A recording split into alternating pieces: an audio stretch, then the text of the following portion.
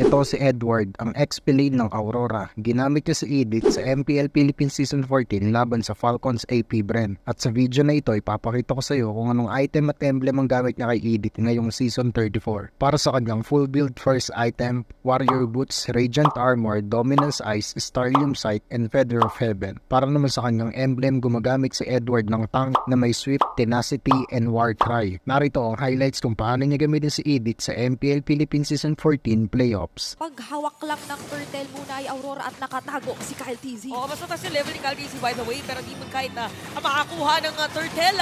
Ogwen ay mapapatay na rin sa first blood ah, para dito sa Aurora. Parang Dito, kung ni ikaw ang uh, Falcon sa AP Brand kasi hindi na nanghihinayang humarap ang Aurora MLBB pero nilatag na nga yung real world ah. Itutuloy ba nila ito into a team fight kasi grabe, signan mo si Yue nasa Gedli lang. Nasa Gedli lang! Oh, ginamit pa yung Crimson Beacon, kaya mapapflicker dito si Uwe. ICQ. Oh. Siya pala yung uh, nag-force ng uh, flicker doon, pero nga lang di mo kahit pasok na. Mawalan buhay ng mga players sa side ng F-Cup. Pero mo kahit mapatay, full free hit lang si Super Marco. Edward dito naka-primal prat na. At mukhang mamamatay na rin si Flapizzi. Edward with a triple kill. Tatlo! And uh, even though may nakapag-build na rin ng another item, merong sipa laban kay Uwe after the guard dyan. Di mo kahit makakakuha ng turtle at magpupula sa mga players ngayon. Even kaya TC ay force na rin na umalis. Is gonna be down. At si Flap TC mapapadown na rin.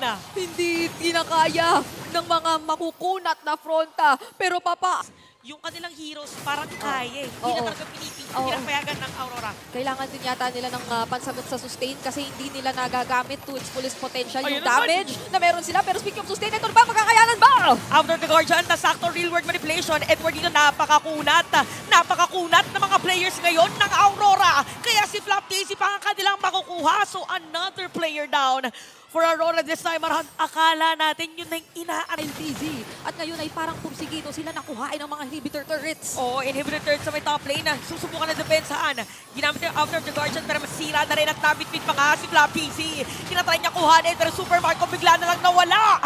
At kompleto ngayon ang mga players ng Aurora. Dalawang patay sa F-Cup. Pero disiplina pa rin ang kanilang paiiralin. Pinuha talaga yung inhibitor turret. Ayaw umalis eh. Kailangan makuha daw muna nila yun kahit bago pa man silang ah, talagang umalis at makapag-angat pa ng ibang waves. Pero tingnan mo, gusto lang pumwesto ng onti ni! Owen. Nahanap na naman siya noong mga paru-paro. At sabi natin, ay isang tore lang ang gusto kanina. Hindi pala, joke lang yun kasi lahat ng inhibitors ay pababagsakin na rin pala ng Aurora. Grabe. So, banggit na natin na parang si Kyle na lang muna yung gumagawa. Pero ultimo si Kyle ay Ako! hahanapin Ako! pa. Napaka-crucial yan! Kasi meron pa Lord yung Aurora so hinahabol siya kayo. Nag-flicker pa si Edward. Kamuti ka na makakauwi pa. So yung Lord sasalubungin din dito ng F-Cup. Pero medyo kulang pa yata sa damage dito para mabilis na madedepensahan sinong sasalubong nito ngayon. Merong Winged Wave sa may bottom lane. At ginamit na rin dito ni Dwayne yung kanyang Azaman Force. After the Guardian, pero sinalubong na naman. Dito ni Doomwood Kite. Flat gonna be down. Oakwood ngayon, unti-unting mawawala ng buhay at mag-flicker out pa. Kapit sa depensa, sabi dito ng F-Cup. At buhay rin sila. Buhay pa rin sila sa threat na ginagawa ng Aurora pero hindi daw papayag. Yung Aurora kasi meron na naman silang minion wave. Ano na yata inaantay nila? Bigla na lang nag-base lock. Dito si Domeng, the next standard. Match point for Aurora. Just to be sure, the performance of Aurora, kita nyo naman sa mga screen at kita nyo na rin siguro ba't nagtitilian ang mga tao. Pogi. Pogi, magaling pa mag-ML, parang ang hirap naman kalaban yan. At nahirapan talaga ang Falcon sa Bren. Dito natin masasabi, iba talaga tubig sa bataan. Totoo. Al- al- nandyan si Rene J, kanina Totoo. nag-MVP. Ito ngayon, si Edward nag-MVP. Oo nga. And uh, at this point, no, this Edith definitely is, uh, I would say, matagal ko nang sinasabi to regular season pa lang, Hans. Edith is the pick of season 14. Ito yung pumasok tayo ng season uh, 14 ng napakalakas na niya. Nagbago na ang mga ibang items natin at nawala na ang mga Johead at iba pa. Nandyan pa rin ang Edith.